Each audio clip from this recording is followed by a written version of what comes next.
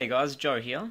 Um, just to show you what I've been working on, I've basically turned one of my computers into a games machine, which I intend on having in my garage just to sit in a corner and um, to be hooked up to a TV. So right now, I've got it in my bedroom. um, basically, it's a this PC here. It's running um, quad core and an NVIDIA graphics card, so it's it's pretty old technology, but um, yeah, so here, so basically this is a front end called GameEx, and the computer boots up straight into it, and it runs all these systems um, through various emulators and just through applications. So just to start this off, um, I'll show you a bit of MAME. So we'll go all MAME games, and let's just pick a game. A lot of these I have not played, I've never heard of, but um, but they're on here, and I'm sure the old people have uh, heard of it. So let's just play this game here, Arabian Magic. Um, I don't think it could be too magical.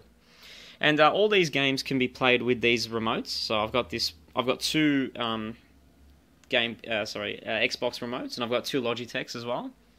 So This is the game here. So we can just put in coins. So I've bound coin to back or select. Um, and yeah, so uh, will be Sinbad.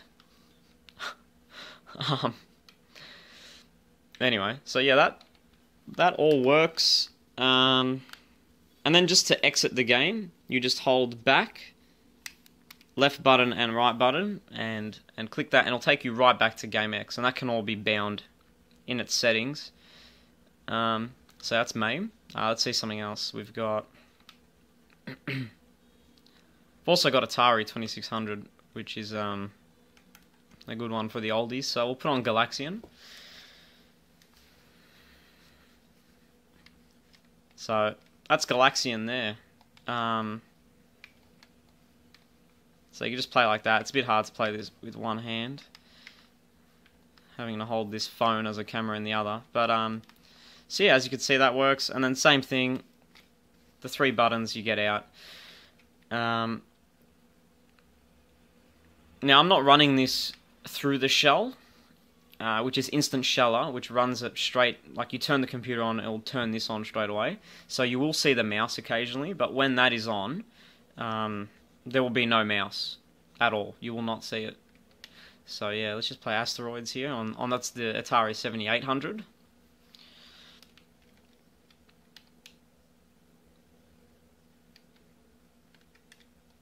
And as you can see, that works as well.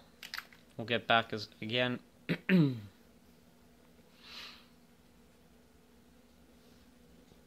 then you've got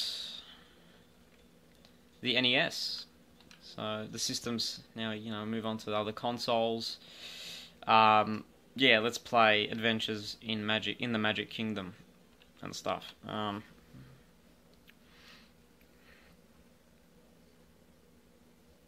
so that's it there. That should be full screen. I'm not sure why it isn't, but I'll fix that. So yeah, that works.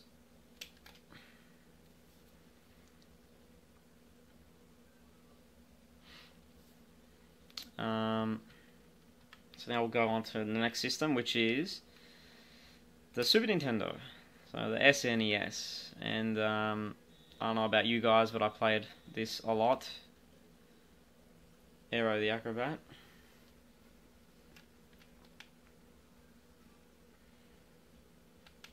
And my arm is starting to hurt holding up this camera. But there's the game there. It's Aero the Acrobat. We'll get out of that one.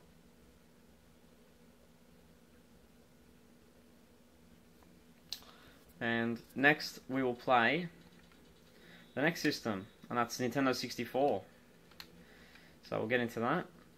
And let's play I don't know, one of everyone's favourites, I suppose. Let's go down to Mario Kart. So Mario Kart 64 there, and as you can see, it has the screenshots and whatnot on the side for some of the games. You can also set it up to play videos, but that's just something I haven't really bothered with. I think it's just a bit too far. And bang, Mario Kart. So that this all works flawlessly as well, so we'll get out of that. just to keep things moving. and let's move on to the next system, which I believe is GameCube. Yep. Alright, so GameCube, what can we play? Digimon Rumble Arena.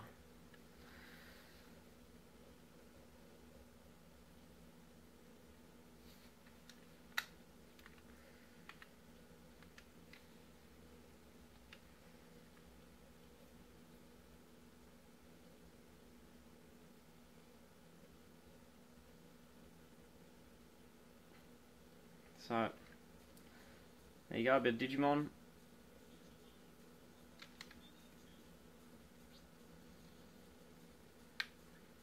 Okay, and that game's basically Super Smash Brothers with Digimon version, so it's a lot of fun though.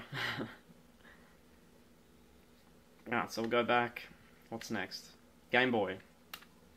So this is this includes Game Boy, Game Boy Color. So let's just play whatever Air Force Delta or something. So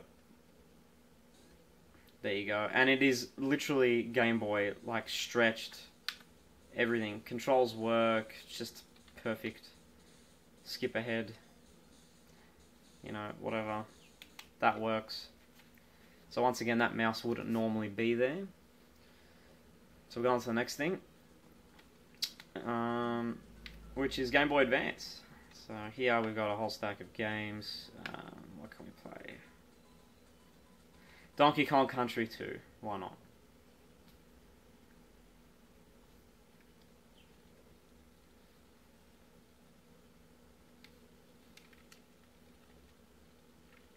So that works. Let's go on to the next thing.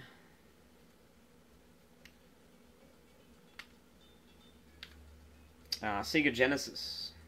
Or just I've put a whole bunch of Sega games under this one thing. I don't know if they're Genesis or not, but I never um, really had much time to play around with a Sega, unfortunately. But yeah, load straight into it. Um, playing another Aero the Acrobat. I didn't mean that, but anyway, there you go. So that's another game. And once again, they can all be played with the same remotes. And as you can see here, I have four. So one, two, three, four four remotes, and all the keys you have to go through the um, the various emulators and bind them, but they all work. Uh, now onto PlayStation. So let's put on Crash Bandicoot. You'll see some of these don't have pictures, um, but yeah, that can all be changed. So there you go, Crash Bandicoot.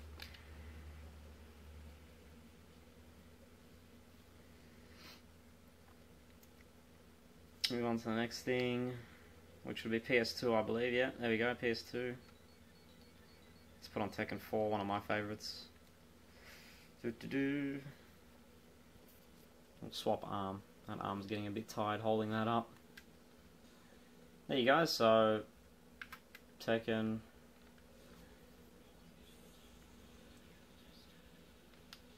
So I've gone through and unlocked every character fun. Did it in about an hour, I think. So yeah, that's Tekken, and that's PS2 running flawlessly. So there you can see the emulator as well. Um, so I'll move on to something else. So I've also put in PC games, which isn't something that I had in up until today actually. But you can set up any game through this. It is unbelievable. So just to show you some Super Street Fighter 4.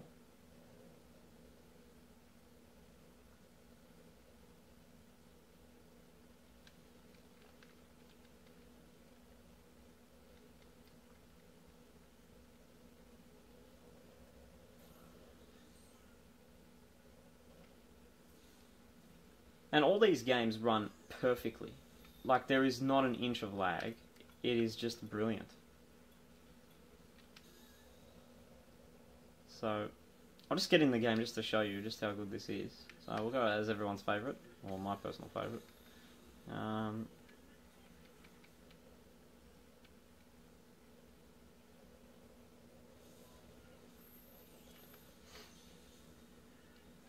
Wii Hyundai. So, just going to play with one hand here. It's not really going to get me far, but as you can see, it runs perfectly. And then once again, just to exit, the three buttons and, and bang, you're out. Um, the, all these games save as well. They all save. Um, and yeah, you can also set... Um, you can also set Game Up, GameEx up to have uh, like a, a, a, YouTube app. Um, you can even have it play video, audio, everything, and you can just shut it off through here as well. So you'll see that the PC will actually just shut down. Um, and these are some screens that I'm hoping to have for, for the boot up. These are things I need to change, but all that is is doable. So it's not very hard it does take a bit of time to get everything that you want and to update your, your kind of your catalog and and whatnot. But um, yeah, it's pretty good.